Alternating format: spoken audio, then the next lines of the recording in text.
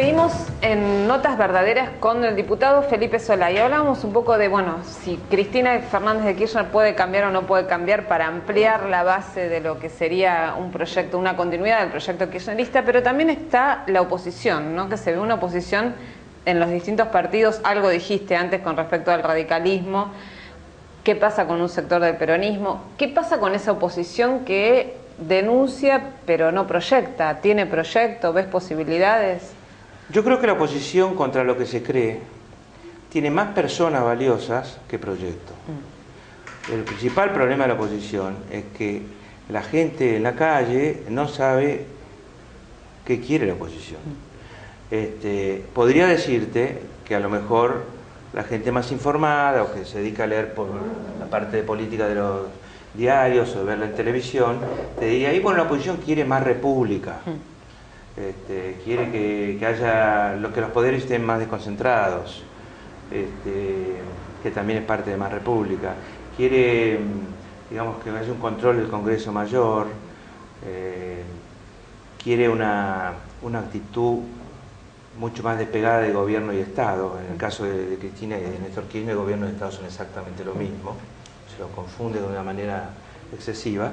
Pero esa es una condición peronista también. Claro, por eso te es el este, peronismo en realidad. Sí, sí, pero siempre se puede cambiar, porque no, no, no, digamos, no tiene nada que ver este país con el de hace 30 años, nada que ver. Vivimos por suerte, en un mundo completamente, por supuesto. Hace 30 estamos en la democracia funcionista. Este, pero ha cambiado todo tanto, ¿no? Por ejemplo, la idea de, de que el otro, de la lucha contra el otro, porque el otro tiene, el otro es dueño de la posibilidad de joderme a través de un monopolio, porque el otro dueño de una corporación y en realidad no representa al conjunto del pueblo, sino a su corporación, porque el otro este, puede engañarme a través de una difusión cultural o, de comunicación que, puede engañar al pueblo y, el gobierno quedar indefenso frente a ello, cosa que ha ocurrido, como el caso de la Rúa, por ejemplo, o de Alfonsín antes, ¿no? que era clarísimo como algunas corporaciones manejaban el clima. Se operaban de Argentina, totalmente. Este, esa idea, llevada al extremo, la está llevando el kirchnerismo, genera que del otro lado se genere el mismo polo, este, lo cual no es muy difícil. Pero también genera un profundo error histórico, porque la política la inventaron los griegos.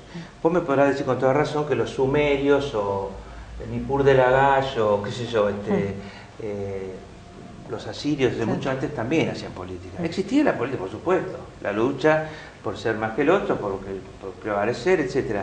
Pero los griegos se cansaron de agarrarse el pescuezo y cortárselo, e inventaron la política, inventaron la polis, inventaron, inventaron la, dialéctica, inventaron la, este, ¿cómo se llama? Eh, la, capacidad de, ayudarme con la palabra, la capacidad de dirigirse al público, la, retórica, la retórica, todas eran, era una metodología para no agarrarse el pescuezo.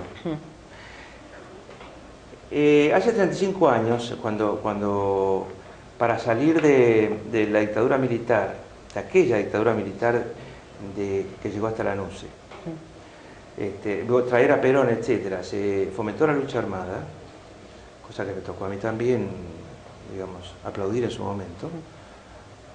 Lo cierto que no lo aplaudí un momento muy largo, pero eh, era un recurso extremo para volver a tener la posibilidad de que se expresara la gente, o sea, de votar. Cuando se votó y siguió la lucha armada, entonces ya no era un recurso extremo, era una forma de concebir la política. Y se dijo, el poder político es el que nace la boca del fusil. En realidad eso no es cierto, y mucho menos es cierto 30 años después, en este, en este mundo.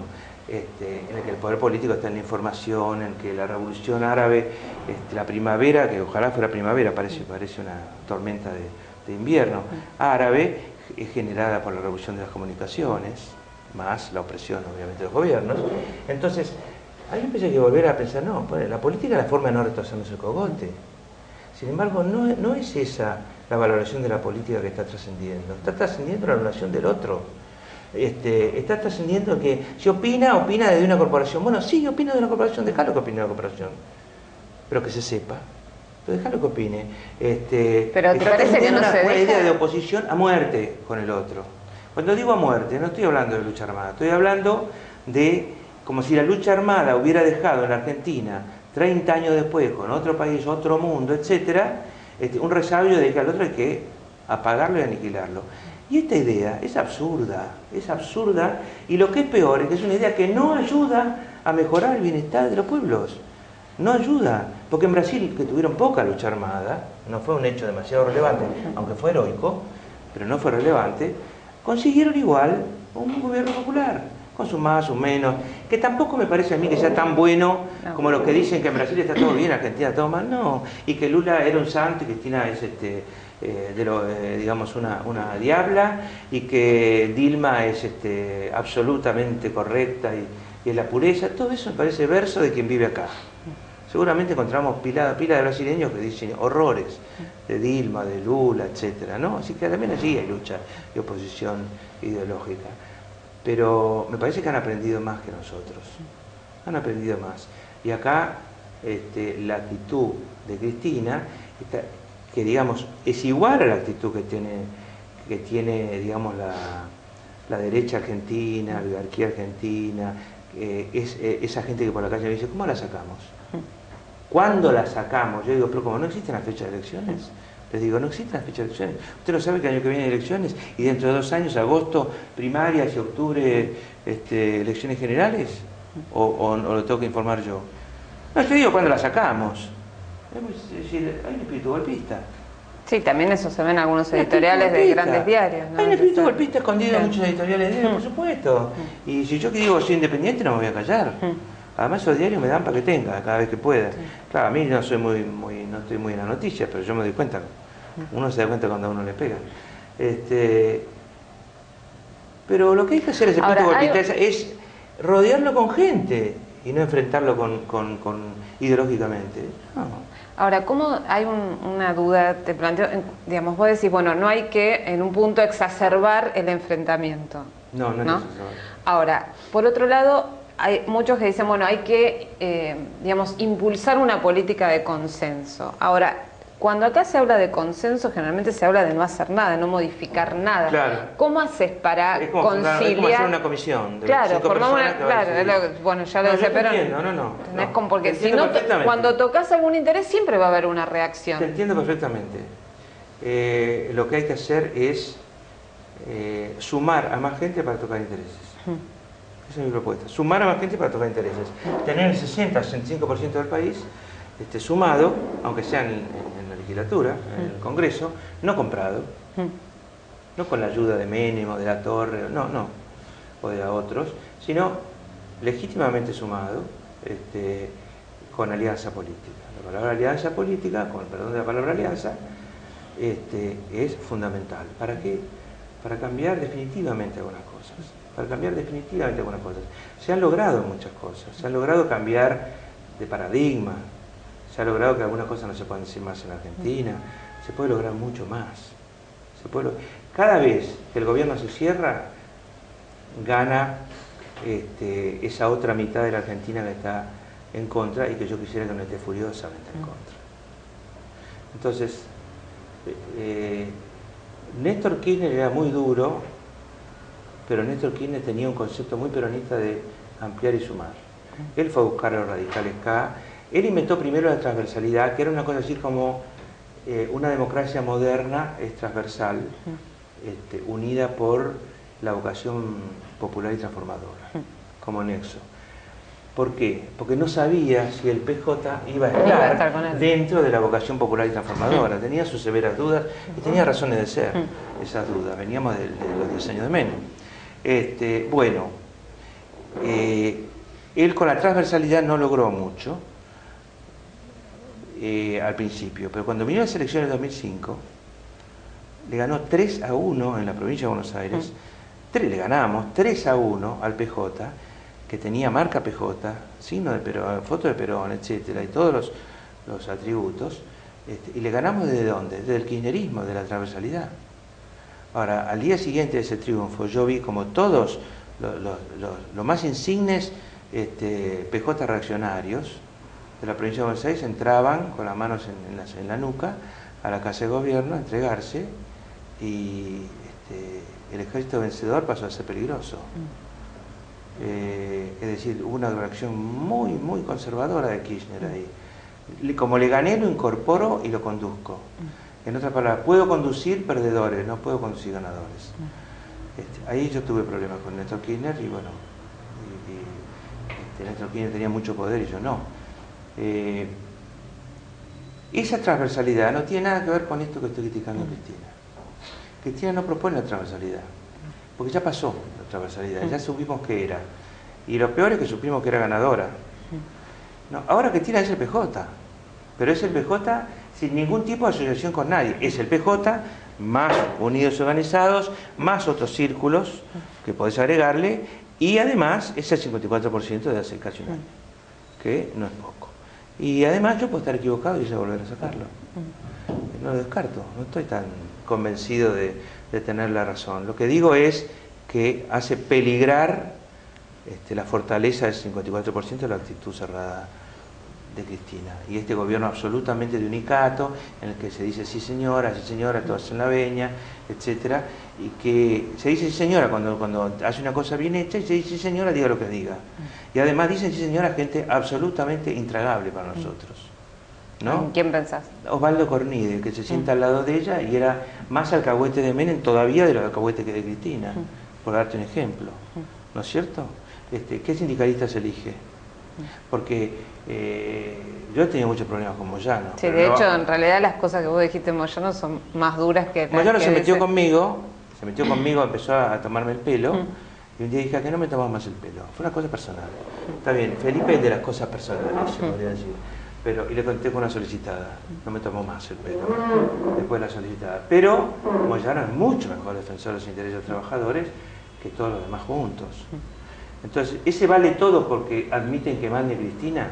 Yo no estoy de acuerdo. No vale todo porque Cristina, porque se someten a Cristina. Vale muchísimo más gente que no se somete a Cristina. Hay que ir a buscarla. Y, si, que mande Cristina, pero que mande de otra manera. Ahora, ¿y para el año que viene, dónde te imaginas? Es, difícil, porque, porque yo no conduzco la, construcción de esos espacios, sería uno más este, no tengo esa capacidad de conducirla, este, ni me propongo como conductor ni como convocante. Este, la preanuncio y, y, voy a estar allí donde trate de eh, que esto que digo se haga realidad, es decir, poner un freno y una mirada distinta en el Congreso y que al mismo tiempo no se transforme en una frustración más como la del 2009, porque yo no quiero un, un Rajoy en Argentina. Y tampoco quiero disfrazarme, los tipos que se disfrazan de peronistas están pensando que vengo Rajoy. Mm. ¿No? Yo no quiero un país más serio, yo quiero un país más justo. Mm. Y si querés un país más justo tenés que bancarte muchas cosas, que si querés un país más serio, este, te van a horrorizar. Mm. Pero los que quieren un país más serio generalmente son los que generan este, la perduración de la injusticia social. Este país sigue siendo muy injusto todavía, le falta mucho más, y solo quienes pongan por delante la justicia social, por delante de otros valores, van a poder cambiar el país. Pero somos más de lo que Cristina cree. ¿Y a Massa cómo lo ves? Massa es esa suerte de, político que, tiene cierto ángel con la gente, que tiene imagen de, muy buen administrador, creo que es un buen administrador, este, es mucho mejor administrador que Scioli, por ejemplo, eh, y que eh, eh, digamos, cree que la política corre por otros cursos muy diferentes a los, de este tipo de planteos como el que hago yo. Eh, nunca lo explicaría de esta manera, eh, la suposición. la política moderna, el marketing y todo lo demás parece darle la razón a, los, masas, como, como parece haberlo fortalecido a Scioli, a pesar de que yo creo que ha sido un mal administrador. Pero, pero ha sido un buen administrador de su, de su imagen, de su publicidad y de su, de su propaganda. Este, de todas maneras, a mí Massa me, parece que, tiene una lucidez interesante y una experiencia interesante de gobierno y bien podría estar con ellos en el futuro. Mm. ¿Y a Scioli eh, cómo lo ves? ¿Lo ves como un, eh, un continuador del kirchnerismo? ¿Lo ves disputando con el kirchnerismo? ¿Dónde lo ves? No, creo que Scioli que va a seguir apostando a heredar. ¿Va a seguir apostando? A heredar. A heredar. Sí. Este, Pero en las familias ricas existe una cosa que es el hijo que espera la herencia. Yo lo he visto con mis ojos en algunos casos. Esa herencia realmente es un mito, por ahí mucho menos lo que creen después. Se muere el viejo y no había tal. Pero va generando una idea de rentismo en el que espera, de bueno, yo voy a tener mi renta y de no construcción de una vida propia.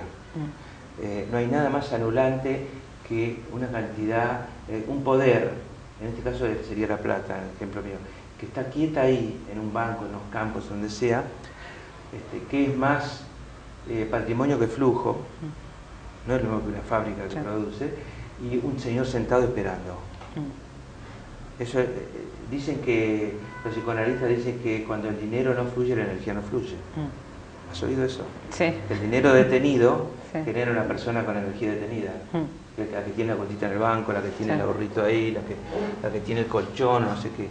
Este, y que el dinero fluyendo puede generar pérdidas o ganancias, pero genera energía, ideas, vida. Eh, la idea de la herencia de Scioli es una idea paralizante. O Scioli sale esa idea y entonces se dibuja otro, otro planteo en la política argentina, porque el tipo tiene muchos seguidores aparentemente, o Scioli sigue en eso y entonces va a ir desmayando. Bueno, ahora para terminar te propongo un pequeño juego de... Bueno.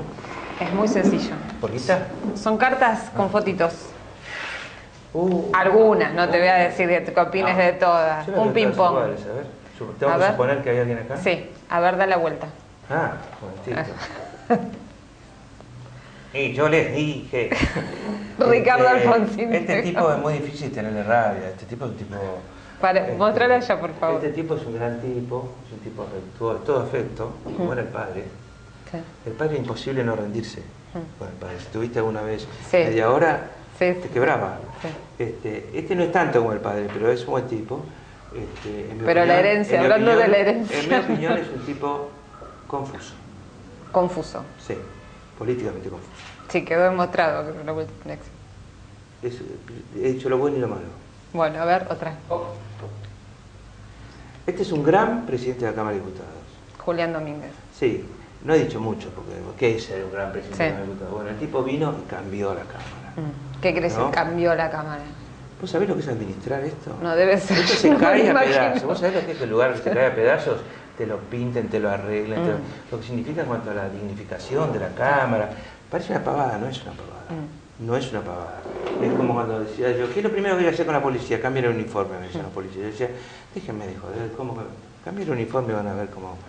¿Por qué? Porque el uniforme nuevito hace la autoestima. Este devolvió mucha autoestima acá. Este, ha sido un tipo con una gran evolución personal en su capacidad política. Es un muy buen orador. Es un buen político, es un político clásico. Mm. Y te voy a decir cuál es su defecto, que es un político clásico, en el sentido de que confía en que la política lo va a llevar a- para arriba y es la gente la que te lleva para arriba. Ahora, puede tener mucho futuro. Bueno, a ver. Te parezco a esos viejos que miran. Este es el ministro de Salud Sí, Colia, Colia. de la provincia. Sí. Eh, no tengo mucho que opinar de él. No me gusta cómo está la salud en la provincia. No me gusta nada. Pero no sé si es adjudicable a él. Tampoco, digamos, cuando yo era gobernador y pensaba que estaba todo bien, estaba todo bien. Hay 78, 77, no sé si hay 78 grandes hospitales que son una ciudad cada uno. Y dentro del empobrecimiento general de- del presupuesto provincial, eh, la salud eh, cobró fiero, cobró en el mal sentido. Ahora, tengo entendido que Alejandro Coya es un buen tipo, que es un tipo sensible, ayudador, no, no sé mucho más de él de eso. Bueno, la última, a ver.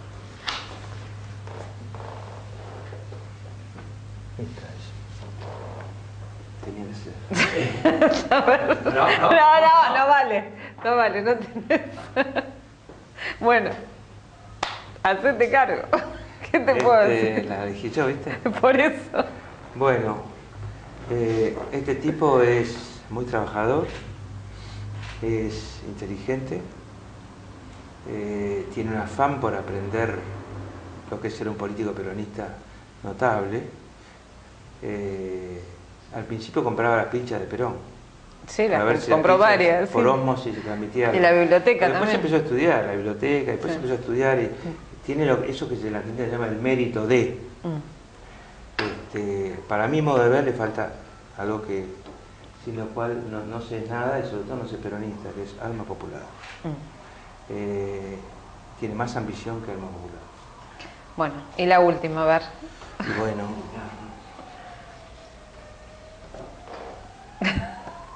Un póker.